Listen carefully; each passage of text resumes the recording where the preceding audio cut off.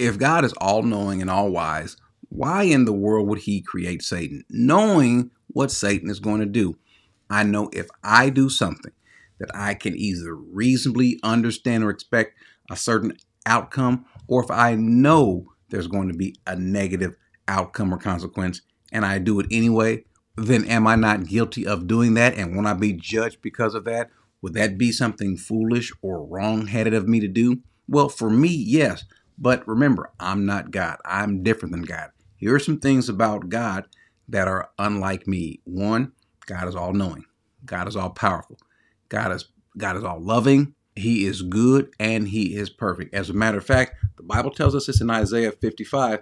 He says that his ways, for my thoughts are not your thoughts, nor are your ways my ways, declares the Lord. And so, however he is, whatever he's thinking, he does things that just doesn't make sense to us. Why? Because he's God and we're not. Newsflash, there's one God.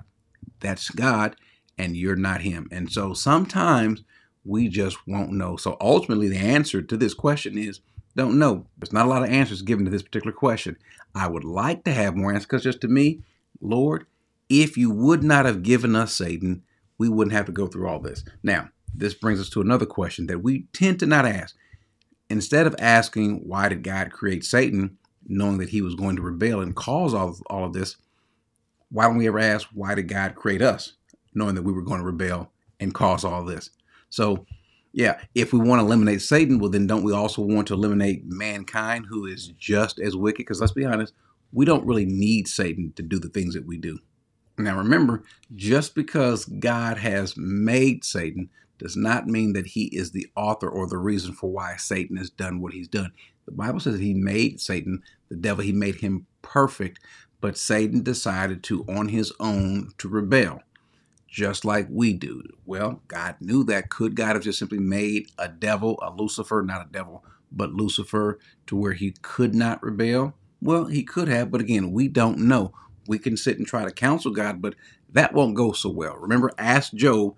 He says when the when the Lord ad, actually responds to Job in Job 38, he says, who is this that darkens counsel by words without knowledge? And then he says something that's got to be frightful to Job. He says, Now gird up your loins like a man, and I will and I will ask you, and you will instruct me. That's not a good look. That's not a good idea to sit and try to counsel with God and go back and forth. Speak to me, try to counsel me. No, that's not going to work well. All we know is He's God, and His ways are so far removed from ours, unlike ours. He's completely different than what we are. There are a couple things, however, that need to be remembered. Though he has created Satan and Satan has brought about a lot of this destruction, and though we have done so as well, uh, because of Satan, and sometimes even without Satan, we just do things. Remember this though how God, this all loving, all knowing, this perfect, and loving God, how he feels about us. Remember, it's brought up in Psalm 8 4. He says, what is man or who is man that you take thought of him or you are mindful of him? And the Son of Man that you care for him, that you have made him a little lower than God, uh, and you crowned him with glory and majesty. You make him to rule over the works of your hands. You have put all things under his feet. And so he's speaking in this case, I believe he's speaking about mankind. Well, why?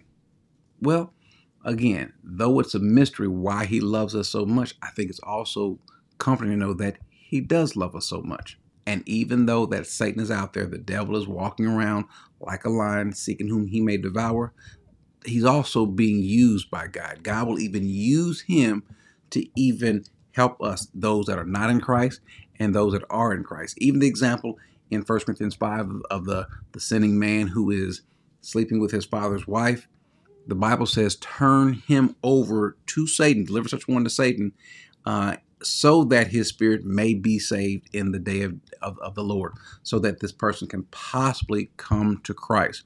So he'll even use Satan in many cases, one, because, and only God knows how he does it, why he does it, but oftentimes these hardships come about, he uses these things to kind of grow us and mold us and bring us closer. Why is all this happening? Honestly, we don't know. We'll never know on this side of earth. Now, we get to heaven, we get to glory, we'll be able to ask him but just be thankful. One, be thankful that you could ask a question and not know and be and be humble enough to say that I'm glad to not know and not force an answer there. But also be grateful for the fact that he created you and me and everyone else and that He created us to have a relationship with Him, and then be thankful that you do have a relationship with Him. And why does God want to have a relationship with us? We don't know, but we're grateful for it. Amen.